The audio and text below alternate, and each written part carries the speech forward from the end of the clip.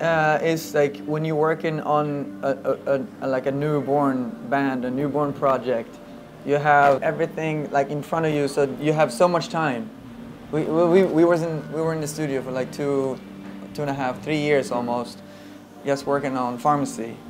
And then when, you know, it takes off, that's never going to come back. You're never going to have that like two years in the studio where you, you just create whatever you want. Like we have a sound now. We are Galantis. We are on tour. So the next record is going to be so much, you know, inspired of touring, being on stage. You know, everything of that is going to come into the next record. Yeah. You know, because there's no way we're going to take a break for two years and you know just live in the studio like you do for your first record.